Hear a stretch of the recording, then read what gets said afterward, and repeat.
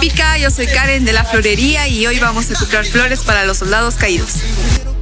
a tu lado y decirte que te amo, entregarte mi corazón. Bueno, lo primero que nos fijamos para comprar las flores es eh, la calidad, el origen y ver que las flores no estén muy maltratadas. Estas se llaman rebecas, están fresquitas, recién cosechaditas. Estas flores son muy finitas, son las españas y son producidas en Achocalla.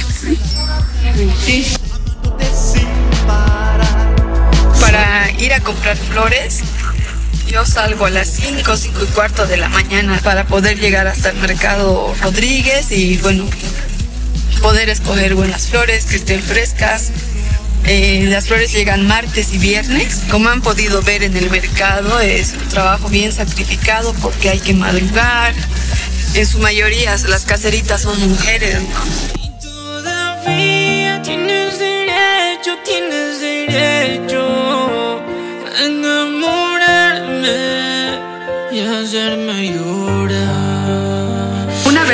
vez volviendo del mercado, lo que hacemos es sumergir la esponja floral dentro del agua. El siguiente paso es empezar eh, a limpiar las flores. Vamos a empezar a, a poner flores, se, llama lisianthus. El lisianthus o una flor blanca significa la pureza, la entrega sincera que puede haber de una persona hacia otra y es una de las flores banderas de, de Japón, ¿no? la, la rosa japonesa.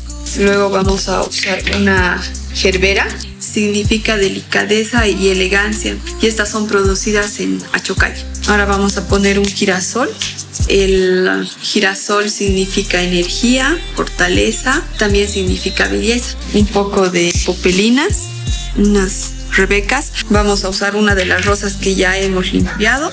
Bueno, las rosas rojas que son las más comerciales significan amor, pasión y entrega en el amor, ¿no?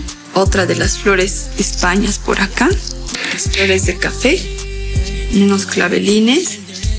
Vamos a empezar a introducir la, la suculenta y listo, ya está la ollita ahí. El material que nosotros desechamos de las flores o de, que hemos limpiado lo usamos para darle alimento a, a nuestros conejitos. Tenemos y bueno, no se echa a perder nada, todo te sirve cuando vas a hacer flores. Para los que les regalan flores y tienen conejitos, los pétalos de las flores que les pueden regalar y que ya se están muriendo, les hace muy bien a la flora intestinal de los conejitos, así que les pueden dar. Lo lindo de regalar flores es que no solamente ahora se regalan en el Día del Amor, puede ser por cualquier motivo, con o sin motivo, mandar flores siempre alegra a las personas. Las flores para mí son muy importantes, son parte de mi vida. Uno, porque me sustento de ellas.